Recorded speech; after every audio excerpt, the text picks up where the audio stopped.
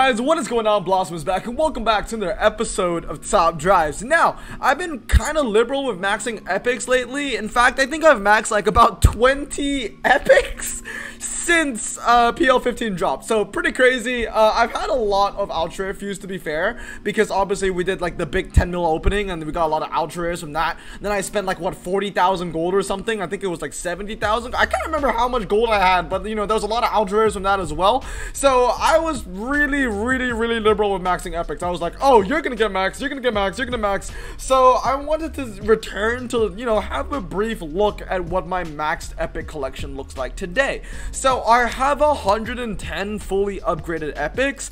Um, 28 are German, 38 are American, 19 are British, 10 are Japanese, uh, 3 are Italian. So at least it's gone up, you know, triple because, you know, I had like one max epic Italian car for like the longest time.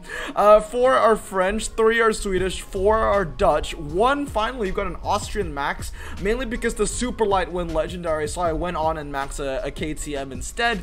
Also, I will talk about what cars I use to max with tokens and what cars I max with, you know, legit just like ultra rare. So without further ado, let's just get straight into it. I mean, the biggest, you know, thing over here are the two Opel Corsas. Now, one Opel Corsa I max with tokens. The other Opel Corsa I maxed straight up. Like, I maxed it straight up with just ultra rares because I want to stay relevant in clubs. And front wheel drive in clubs is, you know, super, super frequent. And there's always going to be at least one off road track in clubs every day, 100% chance. And I was like, okay, I want to remain relevant in clubs. I'm gonna have to max the Opel Corsa. So I maxed two of them, uh, and yeah, I've been you know getting easy MVPs with, the, with these two bad boys. Uh, I've been racing them a lot. I mean, this one 3,312 races, and this one's probably in the thousands as well. Oh, only 435. Okay, well I decided to go max one of the newer ones, I guess.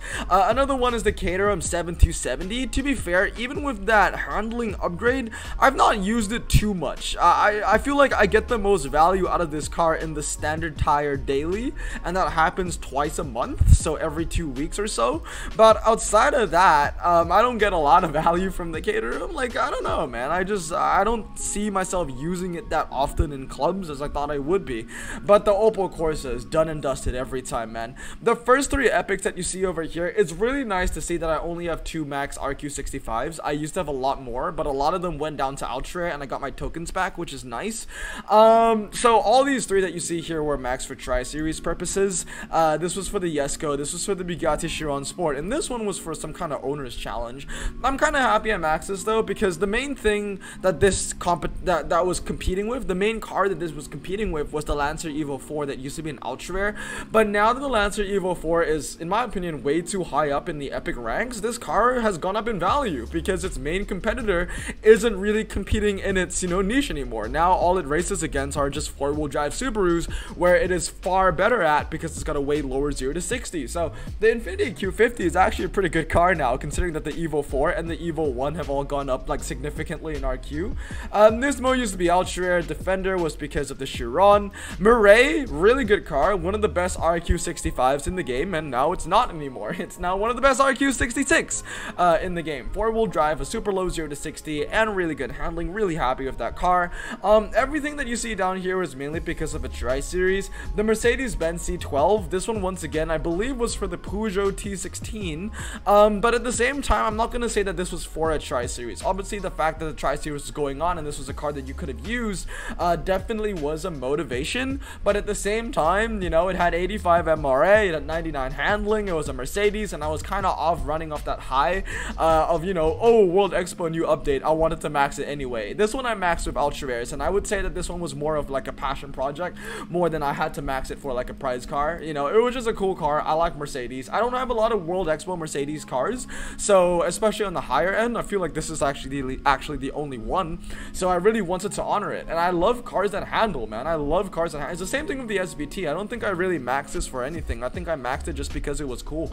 Just because it had 99 handling. A lot of these cars, you know, uh, lower RQ, 99 handling, you know, like the Peugeot, the Mercedes, the Ford, um, the Acura HSC. These are are all cars that I kind of want to just max for fun.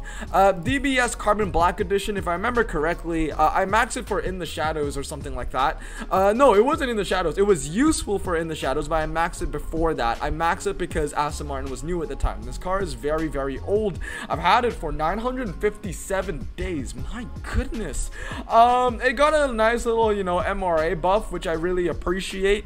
Um, so it kind of stayed in that low RQ67 range. and not, I think it would have gone down to like an RQ64. Um, so we got a little MRA buff. Really happy to see that. So it kind of just stays in that rank. Uh, what else do we have over here though? The SVT Raptor. I think I have two of these, but I have one max. This car is an absolute OG. 1,713 days old with 6,414 races. I gotta say though, the win ratio is not very good, and I can attest to this. The main thing about the SVT Raptor is it kind of just fell out of relevancy, you know what I mean? A bunch of better cars just came into the niche. The Colorado, especially, I mean, used to be ultra rare, but now the Colorado is epic. Uh, but still, you know, it's, it's it handles better. Um, you have a better Raptor to use, the Ram Rebel TRX. So yeah, the SVT Raptor, it still provides some value, but definitely not near as much as it used to. Uh, BMW 335D used to be an ultra rare, not much about that. Phaeton also was for a prize car.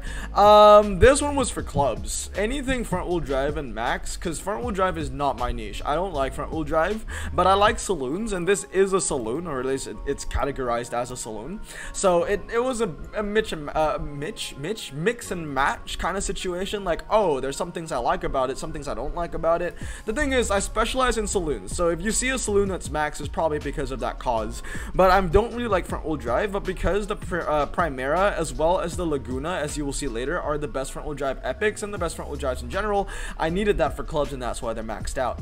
Bristol Fighter uh, is a car that I've been using a lot, surprisingly. Um, well, actually, I guess it shouldn't be surprisingly. I blossom choiced it for a reason. It's the Lamborghini Countach uh, for the epic category. It's got a ridiculously high top speed, uh, especially when you don't count prize cars. Uh, it's the best of the bunch. It's got a low 0 to 60 and amazing MRA. As you can see, I've used it a decent amount, 98 races out of 35 days with a win ratio of 74%. So I I, use it about, you know, three times per day, something like that. Uh, Laguna, I use this car very, very often. CLK DTM is a car that I like a lot. I think I got a handling buff. It used to be 3188, and now it's like 3190 or something like that, which would be, which would make it a pretty decent car, to be fair, for, you know, a fast circuit at 233. It would be like 3.3 3 maybe 3.293 but at the end of the day this is a drag spec car uh, through and through. I have it in 996 it's got the mra it actually beats the hellcats uh, so it's really really strong. Um, unless it got an mra nerf uh, you know somewhere during pl15 i don't know. I haven't used this car since pl15 to be fair. But you know it's like a 2000s hellcat and none of the hellcats are 2000 so this is a very useful car. Um lancia 037 obviously i had to max one. It was like mandatory honestly. Thinking about maxing the second one as well. Still a very, very useful car. Um, I got my uh, headlight army, of course. I got two of these, and I also have the GT3, as we saw earlier over here. I love myself a Freitag headlight. I got two Viper SRT 10s. Those were both for Tri-Series purposes. And we have the Charger Juice, which I freaking love the car as well. Uh, we have the Sidewinder, and then we start off with the three Hellcats, the three green Hellcats out of the six that I have in total. Uh, one is drag spec with 2.90 to 60 and 89 handling, whereas the other two are 233. Uh, the main reason why they're 233 is I think it was for silver screen. No, it was definitely for silver screen. That's why they were maxed out that way. Once again, if you have any question for my epics, let me know down in the question below. I'd be happy to help you. Uh, especially if you want to know like how useful I think the car is or what upgrade I put it in. Uh, the Vanquish Volante is kind of like an expensive version of the Bristol Fighter. This was the car that I used to use before I had the Bristol Fighter because it's British and it's got a high top speed uh, of 203. It also has a low 0 to 60 of 3.2 seconds, and the MRI is okay. It's like 88, but honestly, the Bristol Fighter is just better in every way now. Um, it's got the better MRI, it's got the better top speed, and the 0 to 60 is really similar. I'd use the Bristol Fighter any day of the week. And the main thing, I would say the X factor of the Bristol Fighter is, is one of those cars where you don't expect it to have traction control and ABS, but it does. It looks like it doesn't have it, but it does. Um, so yeah, the Vanquish Volante is kind of irrelevant, honestly. Uh, it wasn't very relevant before the Bristol Fighter, but now with the Bristol Fighter, I like, oh no, man. Uh, Volkswagen W12 Roadster, a car that a lot of people say it's good because it's got good MRA, blah blah blah. But as you can see over here, like this isn't really good pedigree. You know, the fact that I've had it for more days than races is a telltale sign that this is a car that I don't use very often. And a win ratio of 76% is also kind of bad. The main rule of thumb is this, like if I think it's a good car, the chances are I would have raced it more times than days that I've owned it. SRT Hellcat wide body, I feel like it's close. Um, okay, so yeah, it is close, uh, but there is more races than days I've owned it, and a really good win ratio of 90% as well. Uh, Ram Rebel, rest in peace. Uh, this is a car that used to be so good, and because of its nerf, uh, the uh, or because of the other Raptors buff, uh, the other Raptor is better than the TRX and everything now. I know that this car has like 95 MRA, but like who hell freaking cares, dude? Like I'm not looking for a dragster. I'm looking for an off-road car that can, you know, do the twisty road, the twisty circuit, the motocross, not the drags. No. All right, moving on now. Uh, we have my army of Viper GTSR concepts, the Cyclone as well. Amazing car, this one. Uh, one of my biggest regrets was when I was new to the game, I had two Cyclones and I had one max and I was like, oh, since I have one max, I don't need to max my second one. What a mistake that was because I fused away my second Cyclone. I've never got one since and this is a car that is so damn useful. It handles well, has a good 0 to 60, um, it's got high ground clearance, four-wheel drive, standard tires. It's also light, uh, especially for a pickup truck. But when you think about it, most cars that are four-wheel drive and standard tires are saloons. They're usually luxury cars, luxury saloons, and they're very heavy. They're closer to two tons. This being 1,592 kilograms is actually light for its category. Um, we have two BMW M3 CSs, which is still my go-to, like, you know, saloon car that handles well, but that is mainly because I don't have the Alfa Romeo Giulia Quadrifoglio. Um, if I had the Giulia, this wouldn't be a car that I'd be using anymore. The Giulia is better in every way, but the M3 CS, man, I mean, I, I love this car through and through. You know, I, have I've had this one. Uh, okay, this one isn't very good because, you know, I've had it for more days than I've raced it, but this one, I've definitely had it for more races. Uh, yeah, there you go, three times, 3,656 races, uh, and I've only had it for 1,155 days. The only reason why this one has uh, less races is because this car has been stock for the longest time. I only recently maxed out a second one because of how much uh, use uh, usefulness or value I got from this car. So you know it's gonna it's gonna catch up to the days for sure for sure. Um, Ultima Can-Am, what a great car this has been for me. I got this from my elite pack, and as you can see, 44 days, and I've raced it 322 times. Oh my god, I am actually kind of shook right now. I didn't even expect to that I raced at this much. I thought it was gonna be like 250 or something like that. But yeah, a win ratio of 93%. I mean, by grade standards, that's an A. 93% is an A. Like, this is really, really good. It's also won me a prize car now. It's won me the Nissan uh, GT 500. So, uh, really, really good stuff. This is an OG, one of my oldest epics in the garage. Got a handling nerf, so it used to be 99, now 97, unfortunately. Uh, pretty bad win ratio, to be fair, but it's a very old car. I've had it for 1,571 days, and I'll never forget that this car had probably my biggest high or one of my biggest highs and one of my biggest lows. Uh, it won me uh, the Porsche 918 on the first time, and I've already maxed my Porsche 918 uh, thanks to tokens. Uh, and then the second one is that the, the bad one is that it lost. Uh, it was in my hand when I lost to the Camaro ZL11LE when I got like 11th or something like that. I think it was 9th or something. Ah, I can't remember anymore. Uh, it was too long ago. This one also was a massive disappointment. everyone knows that I have this 969 and I hate it. I hate every moment of it. I wish I could change change it, but I can't, and it's killing me. This one too is I think 323. This one's also very old, man. Like all these, like the, the, this is pain. This is pain. 1,372 days. Uh, this one as well. I feel like every time I talk about epics, I talk about these three. These three are absolutely painful, man. Absolutely painful. I've never unpacked this car since, and it's kind of sad. Um, I really want to make amends. I have a second Porsche 911 Carrera, and maybe I will get a second one, two, three, three. The only reason is I don't really really see a need to max a second one right now. Uh, CC100, uh, one of my best epics back before PL15. Uh, I've had it, you know, almost 2,000 races in less than a thousand days, so I've raced it about two times per day, something like that.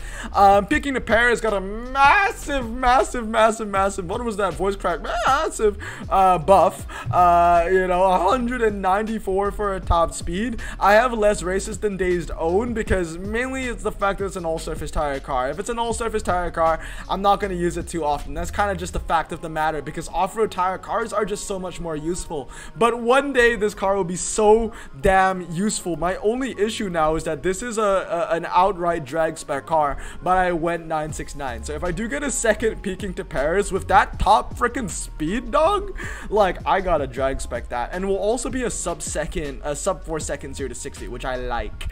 Uh, Emerge E. I gotta max another Emerge E, to be honest. I'm currently working on my DS numero 9. So maybe after DS numero 9, I'll max my second Emerge E. This thing is so insane now. With that MRA, with that 0 to 60, with that handling, um, uh, with that semi-lightweight, it's a ridiculously strong car. The only thing bringing it down is the top speed, and I don't care about that. Because if this was a quarter mile, if this was the Tokyo Drag, this that would be sufficient top speed to be a good dragster. I don't care. This thing is so strong. I'm so happy to have three of them.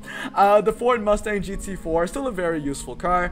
Uh, Durango as well, it's okay. And of course, I have my army of SRT Hellcats. I have two drag spec at the 2.80 to 60, and I have two uh, uh, 699 or twisty spec with the 93 handling and the 2.90 to 60. This car got a small nerf, so 3.198. I think it used to be like 2.998 or 3.098 or something like that. A uh, small nerf doesn't matter. The Lingenfelter got buffed, and I want to max a second Lingenfel uh, Lingenfelter so bad. Uh, Caterham CSR as well. This got a massive upgrade. Uh, the, the stats stayed about the same, 2.695. I, I don't know why this got a massive upgrade. Maybe because of MRA. It has to be, right? Because 2695 nothing much has changed there. Actually not a massive upgrade. I think it used to be rq 75 i think it went up to 76 that was it. Uh, this car i've been i've used this a lot. It's got 69 in the car plate which is amazing as well. This was a recent max. Only had it for 21 days and i've already raced it 109 times. Won me a prize car as well. 3.20 to 60 and 100 handling. Won me two prize cars actually. Uh, it won me back-to-back -back prize cars actually. The pug t16 as well as the um uh what you call it the the nissan. So that's actually pretty not pretty nice. Uh, i almost said pretty pog but I was like, you know what, we don't need to say that anymore. Uh, GT40 race car, I mean, this one was because I'm an, an American specialist, right? I, I don't use it very often. 86 races, 269. I, I only use this when there's a test bowl. That's it. If there's a test bowl, I use it because 222 top speed. The only thing beating this is the Yellowbird.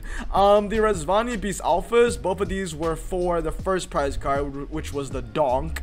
Uh, I do use them from time to time. I gotta say though, a huge Achilles heel for the Rezvani Beast Alpha is the top speed. The fact that it's, you know, operating as a high-end Ultra in the RQ78 range and it can't hit 200 top speed, 200 miles per hour for a top speed is definitely bringing it down.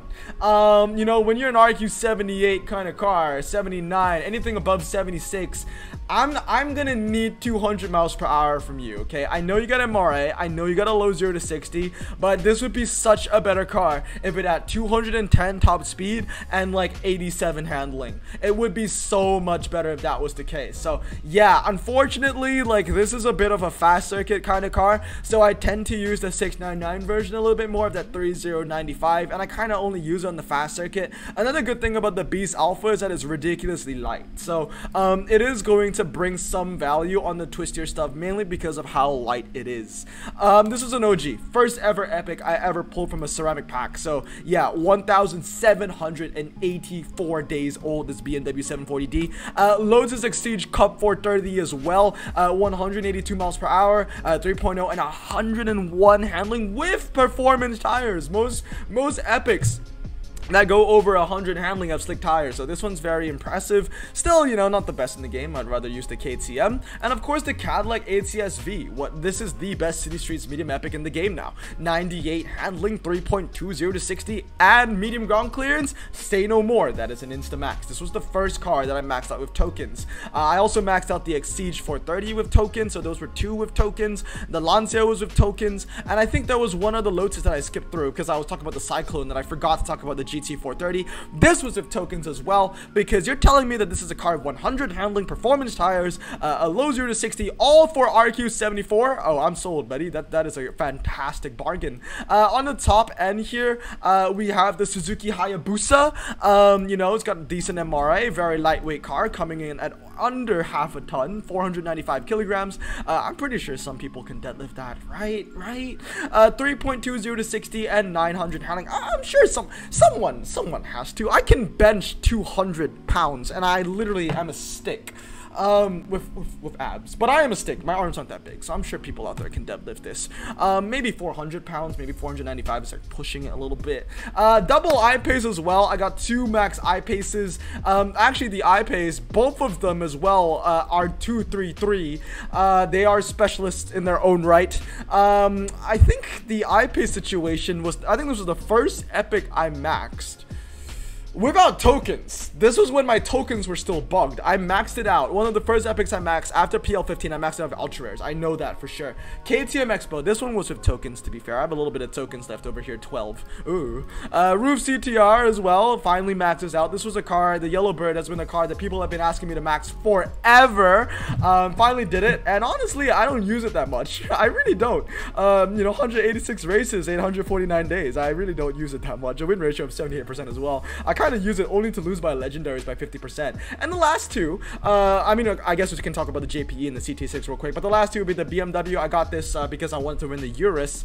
Uh, and of course, the Audi R8. I think this is my newest maxed out car. Um, this is the best hybrid in the game, in my opinion. 3.0, 189 MRA, uh, and 208 top speed. Yeah, say no more. I don't really like Audis, but this thing was the cover. This is the cover boy of the entire update. This thing is ridiculously strong, let's be real. Um, so yeah, let's move on to cars that I was working on. Fuse completed. No, that's the Porsche. Can be fused, I think yeah, so I'm working on the Citroen DS numero 9. Right now, the handling is max, weight and engine to go, so let's just put another upgrade over here. What should we get rid of? Maybe a Subaru GT, I have that max already. Get rid of an Aston Martin, why not? Got a bunch of those. Uh, I have like a 100 Fuse Ultra Rares, so I, I'm, I'm a little like apprehensive on what to use and what not to use. Um, I have two of the Caymans max. I don't think I need five, so we'll get rid of one of those as well, and we'll put another upgrade in the DS numero 9. So this will be the next uh, out, uh, epic that I'm definitely going to max. DS number 9 is going to be number 111. I think the one after that might be an Emerge, like I said earlier. I mean, this is kind of the list, right? It could be an Emerge. Uh, it could be this Forester. I kind of want to just finish it. It's like, what, two upgrades away. Um, or, or maybe the Audi SQ7. Who knows? But anyway, guys, that is my entire maxed epic collection. I am very happy with it. Let me know if you have any, uh, you know, questions below. But I have a question for you, to be fair. Comment down below what you, what your favorite max epic in your garage is. But anyway, guys, hope you guys have a great day. And stay safe, wash your hands, and blossom out. Peace.